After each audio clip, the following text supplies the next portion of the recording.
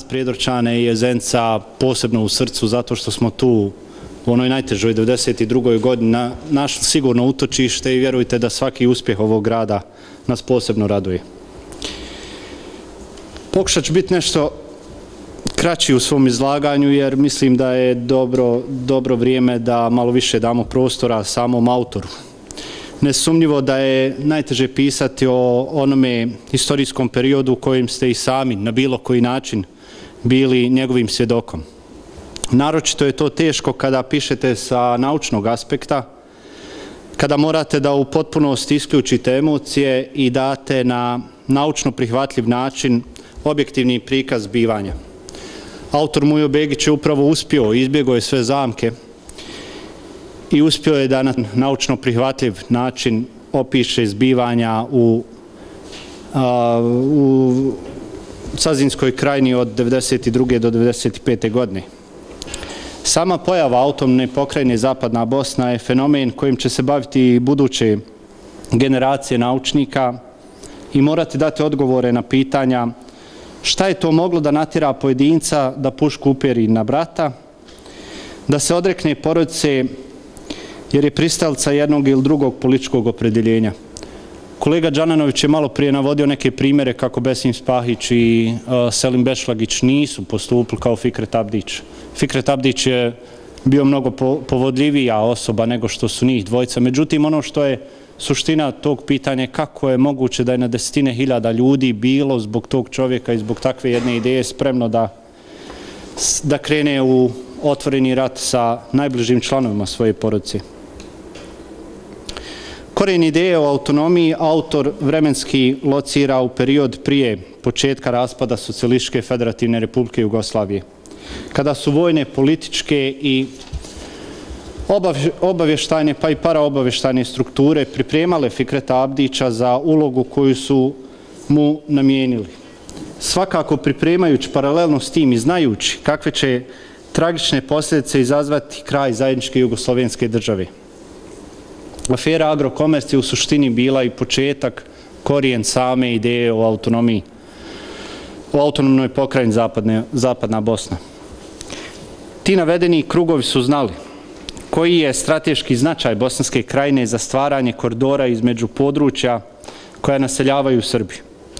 Tome svjedoči i svjedočenje bivšeg političkog protivnika Ivana bivšeg političkog protivnika Slobodana Miloševića Ivana Stambolića kojim su takvi kreatori kreatori velikosrpske politike saopštili kako traže put pa ako treba dovoljna i kozija staza da se ta područja povežu a da između njih nema nesrpskih naselja.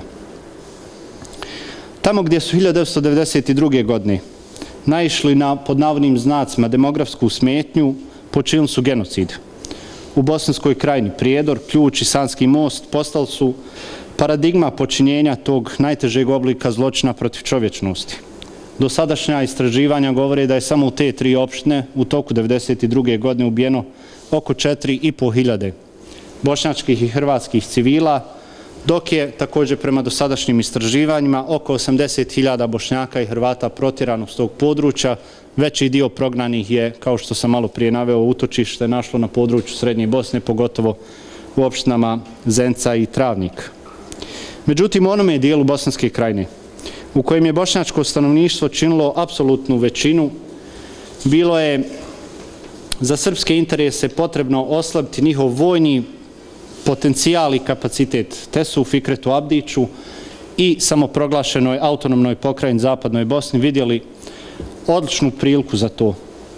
Međusobni sporazumi o nenapadanju između samoproglašenih tvorevina na području Bosne i Hercegovine, stalna vojna saradnja među njima, u čemu autor piše u većem dijelu svoje knjige, samo potvrđuje tezu da je ideja o kvislinčkoj tvorevni, kakva je autonomna pokrajina Zapadna Bosna, znatno starija.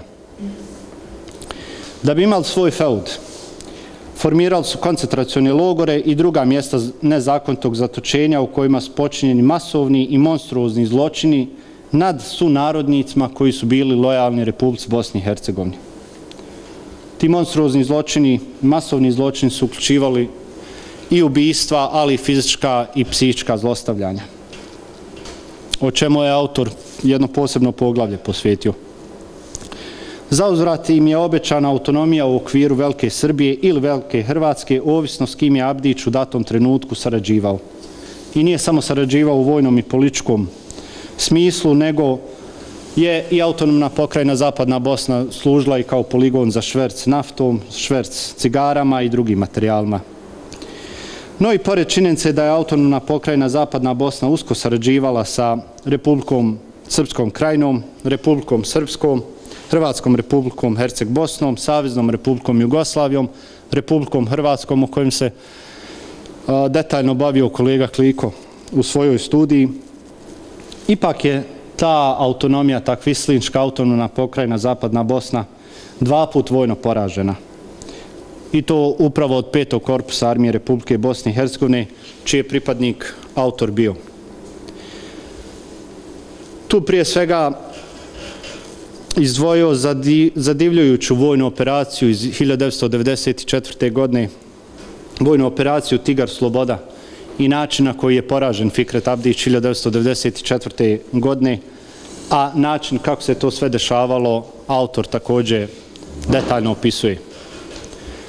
Historičari obično često postavljaju, postavljaju pitanja šta bilo da je tog istorije išao u drugom pravcu, pa je logično da sebe ovakvo jednoj u ovakvoj jednoj situaciji postavimo i pitanje šta bilo da autonomna pokrajina Zapadna Bosna nije formirana i da je recimo Fikret Abdić išao ovim putem kako su išli, kojim su išli zapravo Selim Bešlagić i Besim Spahić.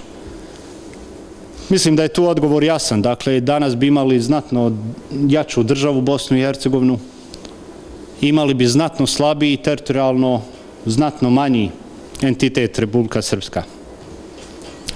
Knjiga Nastanak i djelovanje autonomne pokrajine Zapadna Bosna predstavlja jedno od onih naučnih dijela koje će biti neizostavne u proučavanju zbivanja u Bosanskoj krajini, ali i u Republici Bosni i Hercegovini od 1992. do 1995. godine. Dakle, griješe svi koji misle da postoje lokalne teme za, za ovaj period od 92. do 95. Dakle, svaka tema, svaki, sva, zbivanja u svakoj opštini imaju svoj širi kontekst. Samim tim, kao što je kolega Đananović rekao, ovo nije niti lokalna, niti regionalna tema, nego je ona ipak tema šire konteksta.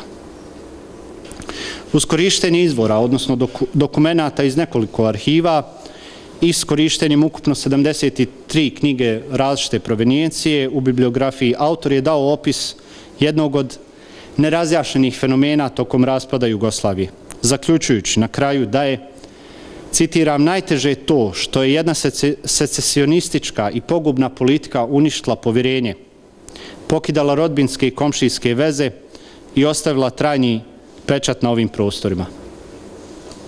Nažalost, tu posljedicu osjećamo do danas, dakle, jedan od razloga što je država ne baš toliko stabilna je upravo i zbog činjenice što je i u jednom vremenskom periodu postojala, nažalost, autonomna pokrajina Zapadna Bosna. Hvala lijepo.